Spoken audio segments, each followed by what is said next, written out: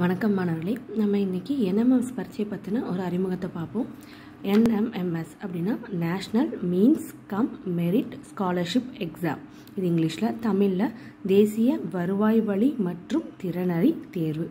இதில் ரெண்டு பகுதியாக பரீட்சை இருக்கும். ஒன்று மன் மேட்டு இன்னொன்று சேட்டு மேட்னா மனத்திறன் தேர்வு. இங்கிலீஷில் மென்டல் எபிலிட்டி டெஸ்ட்டு சேட்டுனா படிப்பறிவு திறன் தேர்வு.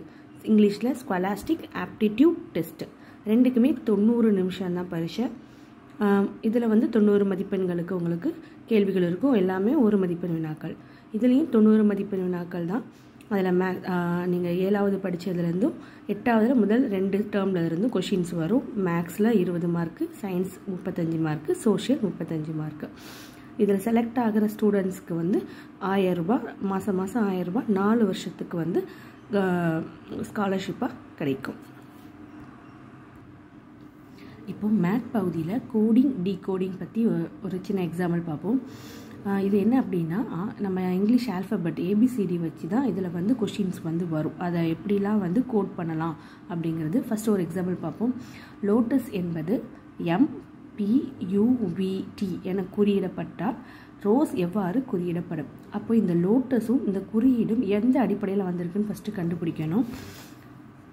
பாருங்கள் லோட்டஸ் ஃபஸ்ட்டு எல் இங்கே அது எப்படி குறியிருக்கு? எம் எல்க்கு பதிலாக எம் அப்போ இங்கே ஏபிசியில் எந்த அடிப்படையில் இருக்குது எல்லுக்கு நெக்ஸ்ட் லெட்டர் எம் அடுத்து பாருங்கள் ஓ ஓ இங்கே ரெண்டாவது லெட்டர் அதுக்கு பதிலாக பி ஸோ ஓக்கு நெக்ஸ்ட்டு பி அடுத்த டி டீக்கு பதிலாக யூ கோட் ஆகிருக்கு இப்போ டீக்கு நெக்ஸ்ட் லெட்டர் யூ அடுத்து யூக்கு என்ன கோடாக இருக்குது வி யூக்கு நெக்ஸ்ட் லெட்டர் வி அதே மாதிரி எஸ் எஸ்ஸுக்கு நெக்ஸ்ட் லெட்ரு டி ஸோ அடுத்தடுத்த எழுத்துக்கள் தான் இங்கே கோட் ஆகிருக்கு அப்போ ரோஸ்க்கு அடுத்தடுத்த எழுத்துக்கள் என்னெல்லாம் வரும் அப்படின்னு பார்த்தீங்கன்னா ஆர் ஆர்க்கு அடுத்த எழுத்து எஸ் அப்போ ஆன்சர்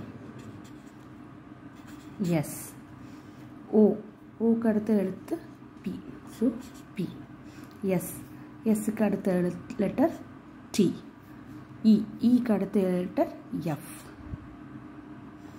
ஸோ அப்போ ரோஸுக்கான குறியீடு எஸ்பிடிஎஃப்